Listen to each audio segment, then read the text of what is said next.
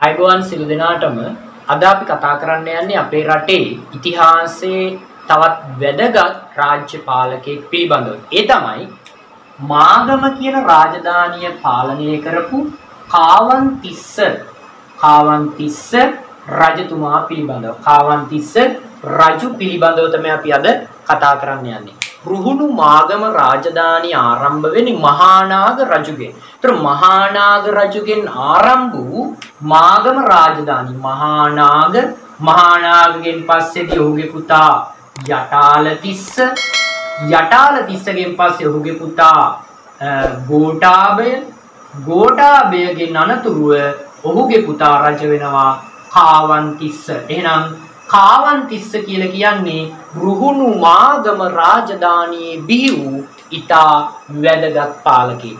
රුහුණු මාගම රාජධානියේ බලයටපත් වූ ඊතා ශ්‍රේෂ්ඨ පාලකෙක් විදියට කාවන්තිස්ස රජතුමා. එහෙම නැත්නම් ඔහු මූලාශ්‍රවල කාක වන්න තිස්ස කියන්නේ කාවන්තිස්ස රජතුමාමයි.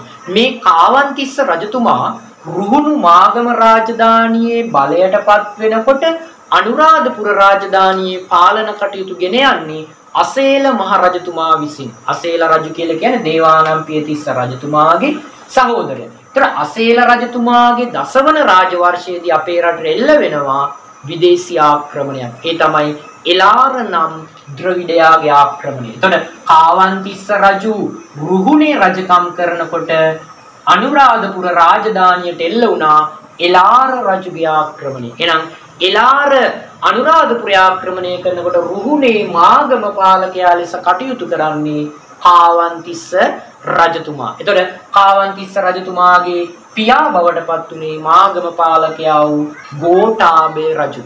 ඊළඟට මේ කාවන්තිස්ස රජතුමාට හිටියා පුතුන් දෙදෙනෙක්. කාවන්තිස්ස රජතුමාට පුතුන් දෙදෙනෙක් හිටිය එක තමයි ගැමුණු ප්‍රසිද්ධතම පුතුන් දෙදෙනා ගැමුණු සහ එක්කෙනා තමයි තිස්ස කියලා කියන්නේ. මෙතනදී මේ කාවන්තිස්ස රජතුමා විවාහ කරගන්නේ කාවන්තිස්ස රජතුමා විවාහ කරගන්නේ විහාර මහා දේවි විහාර මහා දේවි කියලා කියන්නේ කැලණියේ කැලණිතිස්ස රජතුමාගේ දියණිය මූද ගොඩ ගලපු කතාවක් අහලා ඇති. එතකොට ඔය වර්තමානයේ සුනාමි කියන තත්ත්වයක් අතීතයේ සිදු බවට යම් අදහසක් මෙන්න මෙතනින් අපිට දැක ගන්න පුළුවන්. මොකද විහාර මහා දේවිය එදා නැවක දාලා පා කරපු කතාව ඉතිහාසයේ සඳහන් වෙනවා. එහෙනම් මේ විහාර මහා දේවිය තමයි කාවන්තිස්ස රජතුමා විවාහ කරගෙන හිටියේ.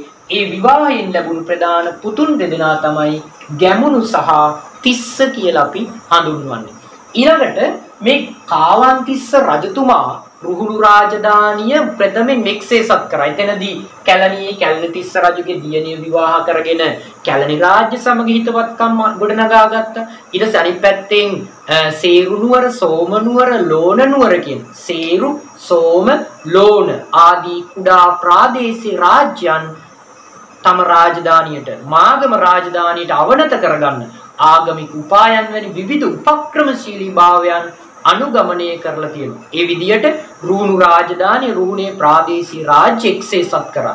ඊළඟට අනාගතයේ පුතුන් දෙදෙනා මේ සහෝදර දෙනත පුතුන් දෙදෙනා අතර ගැටුම් ඇතිවෙන එක වළක්ව ගන්න ඔවුන් දෙදෙනා අතර සමගි සම්පන්නභාවය නැති කරන්න විවිධ උපායන් යෙදුවා. ඒ වගේම අනාගතයේ යුද්ධයකට සූදානම් වීම සඳහා අවි ආයුධ කම්මල් නිර්මාණය කරන්න රජතුමා පියවර ගත්තා. ඒ වගේම තිස්ස කුමාරයා තිස්ස කුමරු දිගාමඩුල්ල ප්‍රදේශයට යවලා ආහාරවලින් සහලින් සම්පෝෂිත කරන්න වගා කටයුතු කරන්න දිගාමඩුල්ල ප්‍රදේශයට යවුවා. ඒ වගේම මහවැලි ගංගා නිම්නයේ වෙනත් බිසවකගේ පුත්‍රයෙක් වෙච්ච දීගාබේ කුමරු ආරක්ෂාවට යොදවල හිටියා. මේ විදියට කාවන්තිස්ස රජතුමා විවිධ උපායශීලී භාවයන් අනුගමනය කර ඔය අතර තමයි ඉතිහාසයේ ප්‍රකට වන දස මහා යෝධයන් දස මහා යෝධ සේනාව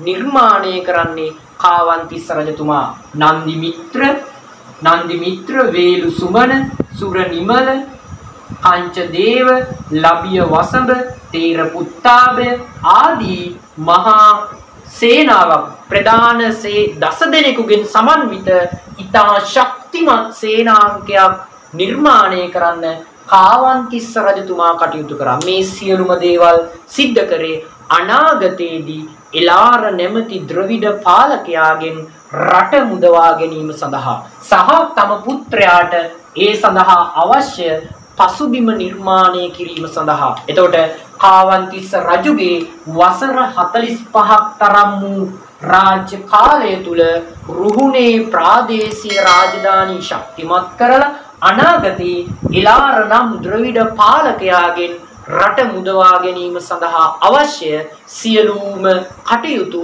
සංවිධානය කළ සූදානම් කරලා ගැමුණු කුමාරයා නැත්තම් දුටු ගැමුණු අනාගතේ රාජ්‍ය සිංහාසනයට පත් කිරීම තමයි කාවන්තිස්ස රජුගේ අරමුණ බවට පත් වුණේ. එතකොට මේ සියලුම කටයුතු සඳහා විහාර මහා දේවියගේ නොබද අනුග්‍රහය හිමි වුණා.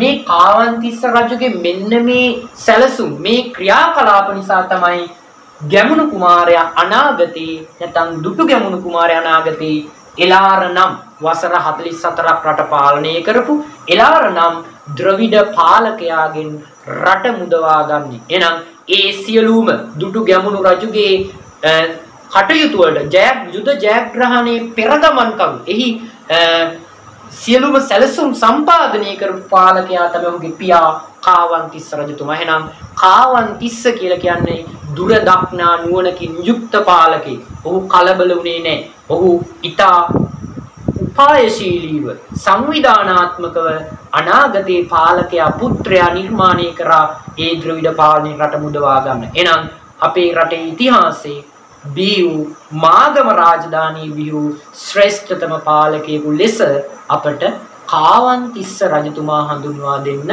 පුළුවන්.